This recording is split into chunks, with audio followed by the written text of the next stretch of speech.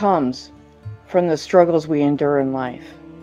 I am sure in your mind, in the moment of you're enduring the pains of your own struggle, you feel nothing but the misery in the midst of your of what you're experiencing. This thought form and feeling within the caverns of the darkness of this darkness, it is far from the truth of what is really happening. It's actually strength that comes from the struggles that we experience. It's the moment that we learn to see our struggles as opportunities to become stronger, better, and wiser. It's then when our thinking shifts from what we thought from I can't do this to I must do this. Struggle is something many have tried to avoid, yet facing it is inevitable. We all face struggles in life, and it's how we deal with these struggles that define us as individuals. Some may wallow in the misery of it all, as it's really easy to do. Some find the strength to pick themselves up and move on. And the third group of people, those who have learned from their struggles and have used them to become wiser and better versions of themselves. I know for those that are still dealing with their struggles currently don't see this, as our mind and our emotions are within the clouds of confusion and despair. It is essential to understand that wisdom comes from knowledge and experience.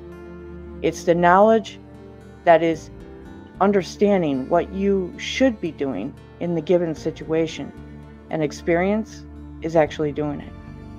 It is only through a combination of the two that we can achieve true wisdom through adversity. It is what you choose to do with your struggles that says a lot about who you are. Everyone struggles in life, but this isn't something that everyone accepts. It's the struggles that we go through. If they didn't exist, we would have no way to appreciate the beauty and the wonders of life. And as much as we would like a world without struggle, as life consists of a perfect balance between light and darkness. In this life, happiness and joy can't exist without the struggle and pain. Whether we wish to understand what we go through in our experience, the hardest thing is eh, to grasp is that struggle is an opportunity for growth. It might hurt, but you can always use your struggles to learn something from it. We can use it as a stepping stone to learn and rise above our struggles. And when we are in the midst of struggle in life, you always have a choice that you can either dwell on it and let it get the best of you, or we can you wind up using it as a stepping stone to become stronger. It might be painful, but it's also teaching us a lot about courage and strength. It may not make sense at the moment. Just know that everything does happen for a reason and no matter how screwed up the situation may seem, it may not be a reason that we comprehend at the time, but it's still nonetheless a reason. It's how we use our struggles as a way to improve ourselves. Struggle is wisdom. Struggle is strength. Struggle does develop us into a better version of ourselves. Welcome and thank you for joining me on Vibe Talk. I'm your guide, Jesse Johnson. And the topic that we're going to be covering is a subject that's even personal to me. And more likely, it's also personal to you too. Like the intro to the wisdom that I share, it's it's about the struggles, the struggles that we all go through. You, me, family, friends, people that we wind up crossing paths with we all ex- experience struggle and we all endure it. It's something many of us face, and where each of us have our own stories that we have experienced in certain situations that we have had went through and experienced and endured situations like losing a job a loss of a loved one divorce illness any kind of hardship it can fit any number of struggles that many of us face. The fact is, is that we can either let it consume us, never learning, never evolving, never to understand the wisdom we crave, never to be empathetic, never to be compassionate to others in and even in their struggle, we never would reach the point in our life to lead others through their struggle from the wisdom that we have learned on our own. We never become a better version of ourselves or find our greater purpose if we choose to wallow or even blame others for our experience. We wind up hearing stories of personal struggles, personal struggles of others, and from that they have become even became advocates to others who had endured the same situations. Look at victims of crimes. Sometimes even the person who was a victim of it, or even those who have been family members of victims, they wind up becoming advocates. And even some have even nestled themselves into careers that have fought for change and based upon what they have experienced or even their family members have experienced that they even change laws within the within the government and political systems the fact is how can one even know what the ills are within society within a community within a workplace environment unless one winds up experiencing the hardships of the struggle within any given situation imagine what you can achieve through the strength and even the understanding in your own personal struggle. So do me a favor close your eyes and open your heart and open your mind for a moment and put the memories of your own struggles that you have faced in your mind and take this journey with me to understand the wisdom and the understanding of what we wind up accomplishing through the faces of our own struggles that we have experienced or even endured. So here's the facts our struggle is definitely an integral part of our human growth. Life dole, doiled and easily substituted for real strength, and many times it's laziness and procrastination that becomes even a normative in our society. I mean, I'm sure you have heard stories about children whose parents are have guarded them against experiencing even the smallest wrinkles, or adults who have set themselves in a in a Fort Knox tower of personal delusions. The fact remains that both wind up leading to a path of entitlement, anxiety, and even paranoia.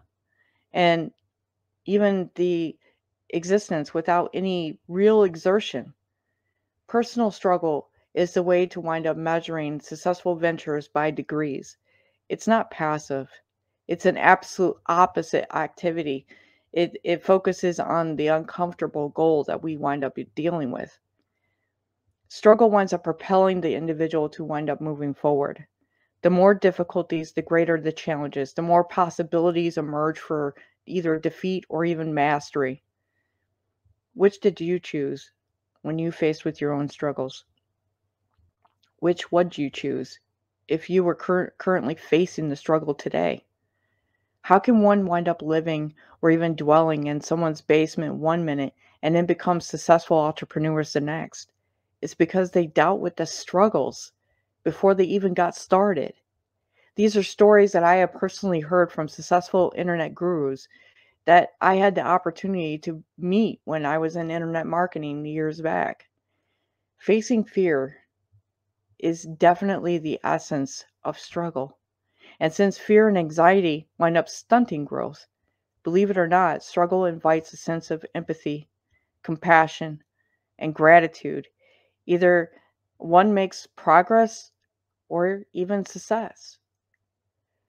Put the work of struggle, the dip- discipline of it, and the grow in resilience. If one wishes to project strength and gain fire, struggle is inevitable. And in fact, it is the key to success any internet, successful internet guru will tell you. Personal growth comes with a price tag. As most of us in humanity, no struggle is no gain. And when we take charge of our lives, those who are active, not and not passive, we don't just survive, we wind up gaining tools to thrive. Fear in itself keeps many from personal growth. And if one sits in a cave of one's own making and waits for whatever to come and lives without the basic needs for body maintenance, death occurs. Likewise, no one should wait to act until fear passes. If you are in your own head, it never will. Growth winds up happening when courage stands tall next to fear and not in its place. Insecurity becomes shadowed by the courage needed to move and waiting for handouts is not built in the in the human nature working and giving is if we are waiting for the world that we live in to be fair sadly it's not and it won't be unfortunately until humanity as a society gives up on its foolishness and unless our society as a whole winds up changing within for now it won't be fair life your life winds up requiring courage and action. The body that houses the mind struggles daily to maintain itself, and it is the very foundation of being alive. The brain must move past maintenance to activity and to create an atmosphere of courage, personal growth, and struggle to make one a leader in their own life. Set goals, do the work, muster the courage to act, and take charge. Learn survival. Not every single activity will be successful. We learn and then we try again. Not every venture will yield what is wanted, but work at mastering it does. So you do it anyways. The question is, as it's one I have asked myself many times when I have faced many different experiences of struggle. I ask myself, Jesse, do you want to be the doormat or the door? And it's a question that you should ask yourself when you're facing your own struggles. Ask anyone who's a huge success, and they will tell you stories of how long their struggle lasted. The difference is is opportunity or resilience. Deal with it Deal with the discomfort and the fear, then continue despite it. Success is in any arena. In hindsight, it can be understand on a curve. Climbing on a mountain on the left side. Many lightweighted uh, thinkers just pack it in. Successful people, they wind up getting up and use self talk to continue up the mountain. And no matter what, they will never give up and their attitude winds up pushing the fear and the insecurity aside and then they continue the darkest day will be at the heap at the top of the heap but it will ride down the other side perseverance is the difference between a thousand failed experience experiences and one that works you see my personal take back was an experience that i had when I was working as a machine operator for a company. The work was grueling, and at times I walked into my front door after a long day, bent over, looking like a question mark due to the heavy pains in, of my lower back. And many times I wanted to quit. The politics within the company I worked for was something that was easy to give into the thought of quitting. Yet I kept giving myself that soft that self-talk trying to find joy with from a place that was like hell for many of us who worked there. I kept climbing up that mountain. And just before the year my year anniversary, I ended up getting weld certified and was was beginning to see purpose of what I did based on the people that I had made connections with. And taken under the wing of men welders who believed in me, they ended up showing me all the different ropes and tricks an opening was posted and I ended up receiving the position to be a full-time weld repair welder. And management, they ended up recognizing my hard work and my contributions that I had made in the time that I was there in that company. I was approached to take a setter position rather than a weld repair position. And at first, I was quite intimidated by the vast amount of responsibilities that that, that position, that particular position had held. Yet my peers had encouraged me, and the many had believed in me, the very people that I had built connections with. So, despite my own reservations, I winded up buying a, a toolbox and a bunch of tools, and I winded up taking the opportunity with courage. And to me, it was another step up the mountain. It was then that I winded up facing a challenge of a supervisor who didn't want me to be his setter, as he wanted a couple of his superstar operators to be in that position rather than me, and that he'd even encouraged them to apply. And because that I wasn't the person that he wanted, he would constantly harass me and made it into a hostile work environment. And and I was intimidated by him. The return thoughts of of wanting to quit returned, and I tried to stand up for myself. And I ended up writing a six-page statement and what he did, giving it to one of my plant managers, and so he said he gave it to one of the uh, HR rep, reps at the time. The thing is, is that nothing was done about it. And after that harsh struggle of that experience I had endured, I went to another shift as it was either that or quit.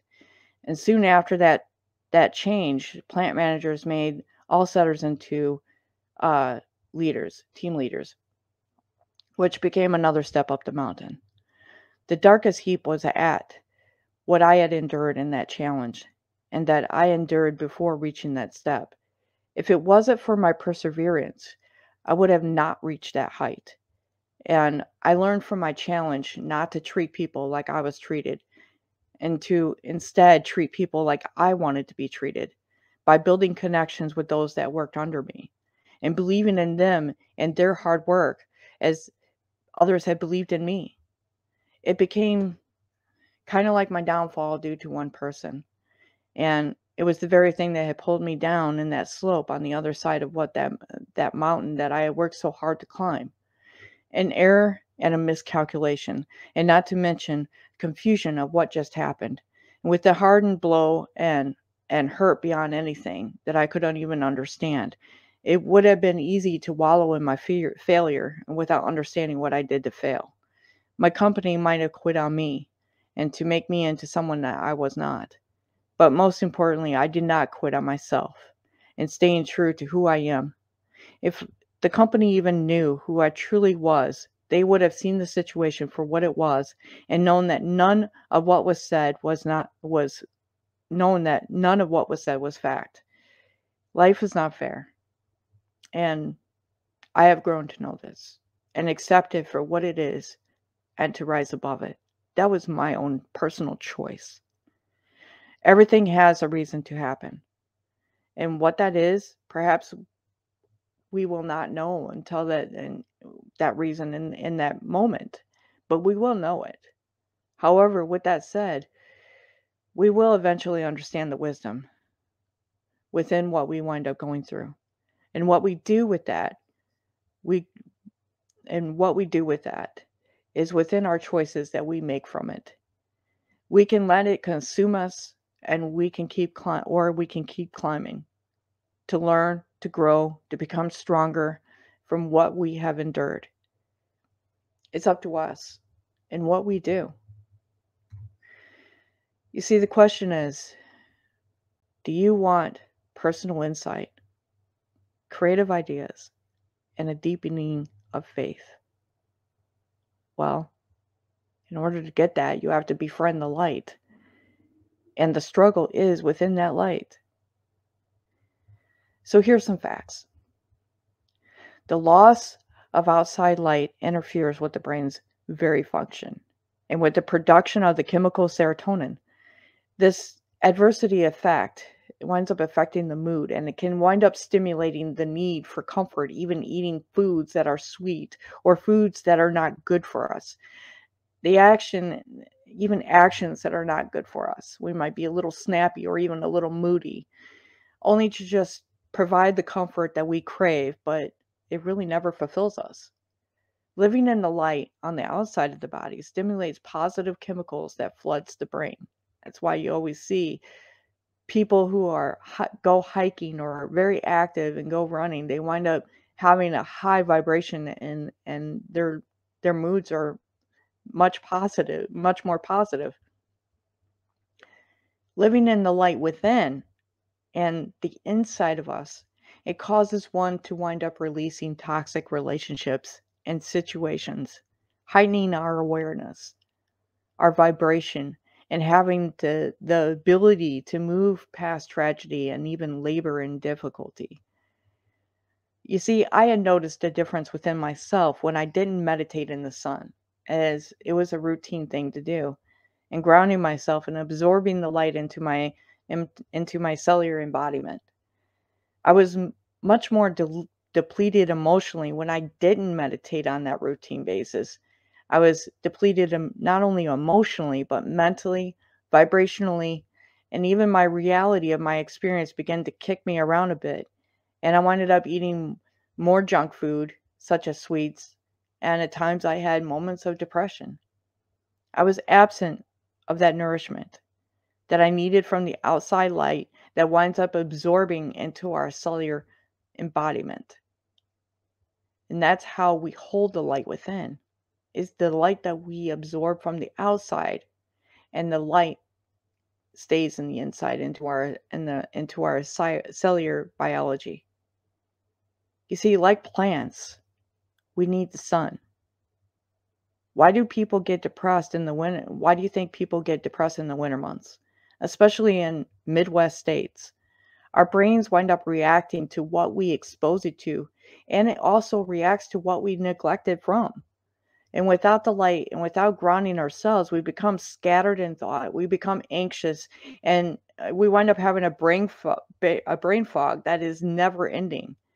And by the light of the sun and the grounding ourselves to the earth, it's how we wind up holding the light within ourselves and expanding our consciousness and to wind up raising our vibration. Why do you think many people within the spiritual community they wind up encouraging people to meditate, to be still, to expand, to ground ourselves, to be able to rise our vibrations because we are like walking antennas. We have to ground ourselves above so below. We become we wind up becoming connected rather than disconnected.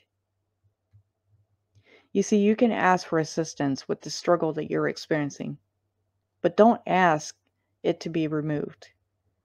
A good friend at work, her name was Chantel, and she wound up watching my personal struggles within my own personal life. And I was getting quite kicked around. She told me, be a diamond, a valuable stone that is crushed and pressurized by the earth. For the coal to become a diamond, it endures an enormous amount of pressure. She looked at me and she told me to be a diamond. She spoke the truth, and in her truth, that deeply resonated to my soul. It's the struggle that turns us to light within. And it's then that you will perform the greatest feats, even beyond your own imagination, and assisting others in their time of struggle, which is what of my eh, which is what my dearest friend Chantel had done with me. When her advice was, be a diamond. The meaning, the meaning is embedded into the struggle. Don't be a victim. And don't make excuses. Grow. Just grow. Recognize the process and move, and then give back. The struggles that we wind up experiencing is the basis of life. Struggle is also within the fabric of our life. Nothing worthwhile and satisfactory to the fiber of existence will happen unless we engage in risk and struggle. So the question is do you have the guts to struggle? Can we muster the, the courage to risk the darkness so that the light can be appreciated? Here is the first piece of the secret. You ready? The first piece of that secret wisdom is that it's the core of growth is from struggle that we wind up enduring and experiencing. Risk projects strength. Empathy and compassion are definitely the result. Sometimes people talk about being calm in the face of adversity. what you don't know is that calm is achieved after the struggle is engaged. No one is calm when they're born. All people who are born are wind up being induced to cry to clear their lungs of liquid.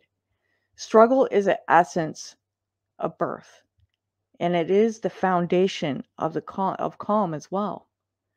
Calm is achieved by facing fear and staring it down.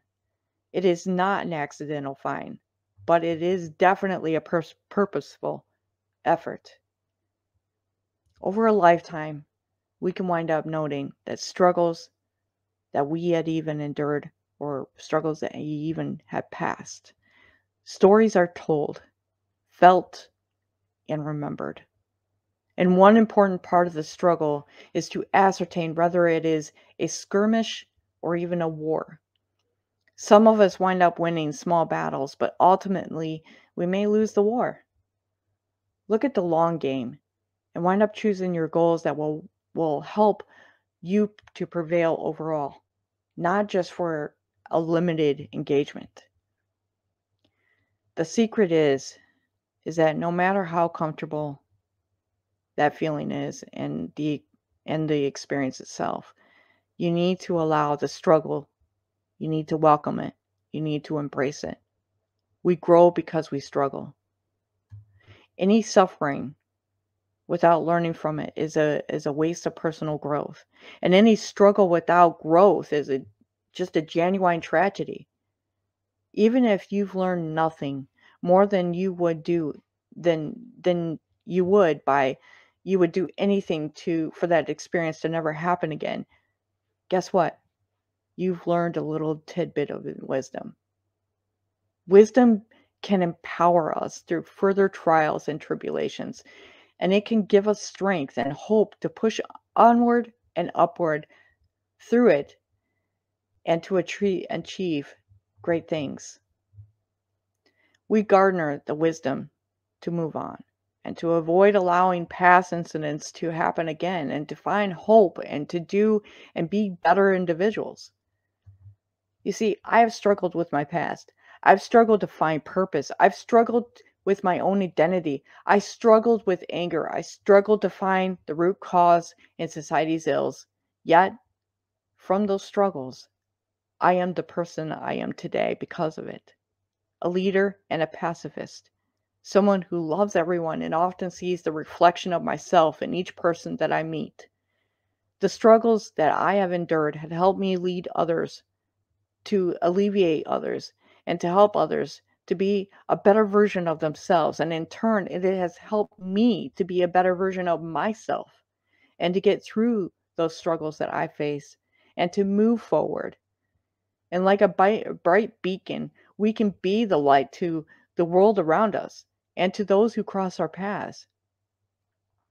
Or like those who have not learned anything from their struggles and who has allowed it to consume them they can wind up being the shadow to others.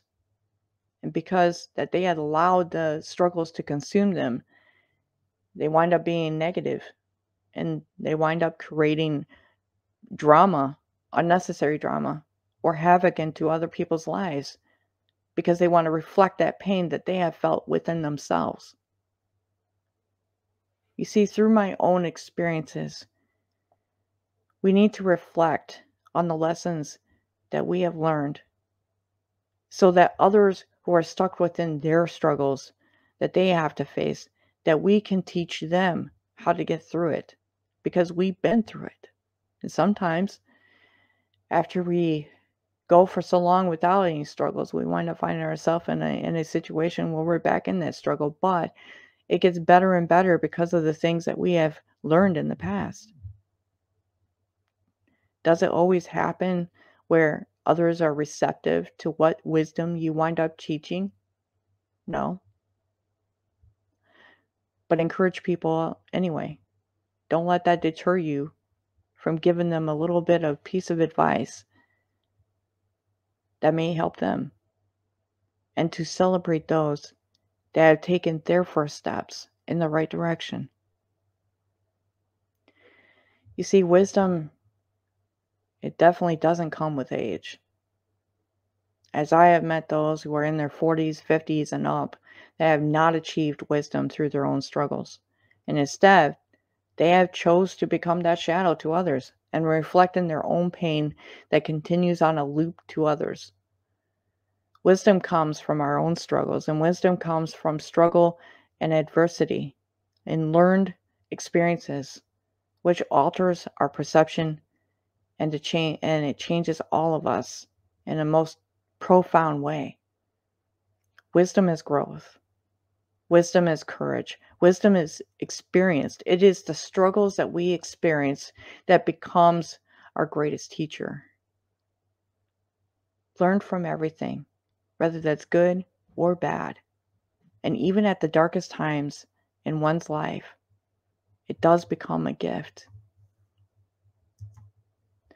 Allow me to tell you one of my past experiences. As you can see, I have what looks like a lazy eye. Well, this is how it happened. When I was about 19, 20, I was hanging out with this girl. And I was young and naive. I didn't know what drugs was. She was on drugs and plus she was drunk. I only thought she was drunk. So I tried to stop her from wandering around the streets of Flint being drunk because if anyone knows anything about Flint, Michigan, it is definitely not the place to go wandering around drunk. And I didn't want to see her get hurt. So I tried to stop her. She wound up going into the kitchen and getting and said she was going to get a bowl of cereal. She goes into the kitchen and she comes back and she stands at the corridor between the kitchen and the living room. I was sitting on the couch eating one of those colored Easter eggs as it happened on Easter. And as she walked by me, she threw the contents of what was in that butter bowl into my face, which was bleach. It went up my up my nose, down my throat, in my eyes. My eyes were burning out of my head. I couldn't breathe.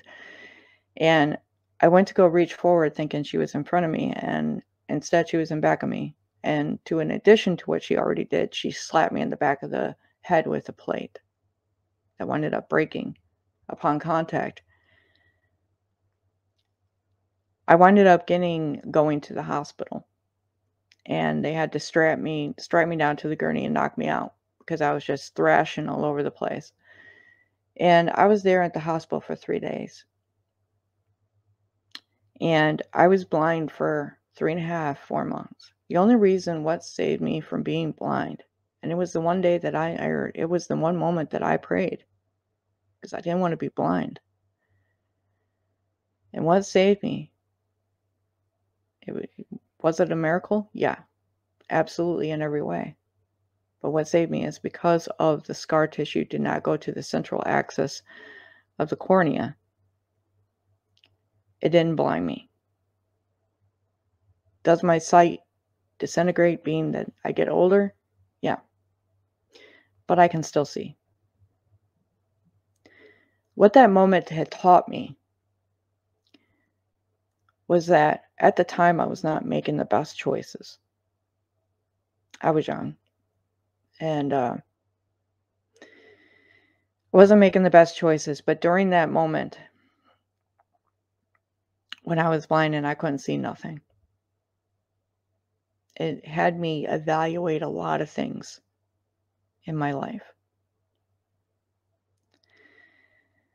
I ended up moving out of state once I started to regain my my sight after going to specialists and getting eye drops that were extremely painful to put in my eyes and slept about 20 hours a day.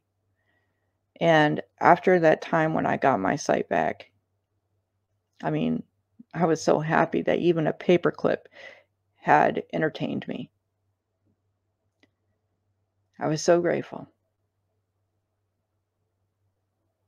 I moved out of state and I got my life together. I ended up getting into nursing and uh, put my through myself through school and everything else. It was that moment of that struggle that changed me. And no matter how hard that struggle is, there is always something grandest to learn from it. And no matter what, whether it's losing a close relative or anything, there is always something to learn. The thing is, is that struggle creates wisdom. And if you, depending on the choices of how you react to that struggle, it can make you into the best, better version of yourself. And you wind up achieving feats that even is beyond your own uh, imagination. I've done it many times before. So it's definitely possible. I would like to thank you for joining me on this journey and this lesson. Sorry that this video is a little long, but there's a lot to say about the wisdom behind the struggle. Make sure that you press the subscribe button and become a subscriber. And uh, we're going to, this is not going to be, um, I know I haven't done a video in a while, but this, there's going to be plenty more that's going to be coming as I love teaching. So do me a favor. If it's not too personal, put down your struggles that you have learned and what you have experienced. And and share because you might be helping somebody who may run across this video and be looking at the comments. And your wisdom of what you have experienced and what you have learned from it may help someone else. You have a blessed day. And samsara.